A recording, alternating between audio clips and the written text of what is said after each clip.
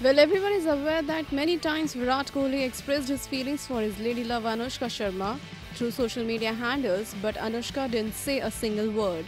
Now, at the launch of romantic track Hawaii, when Anushka quipped with the question that if she missed anyone during filming the romantic scenes with Shah Rukh Khan, then by not saying her alleged boyfriend name Virat Kohli and even not giving any indication, she smartly answered and said, हवाई song काफ़ी romantic है। आपने शाहरुख के साथ song किया लेकिन personally आपने किसी को मिस किया सॉन्ग के दौरान या I did actually Irshad Kamil Irshad Kamil Irshad Kamil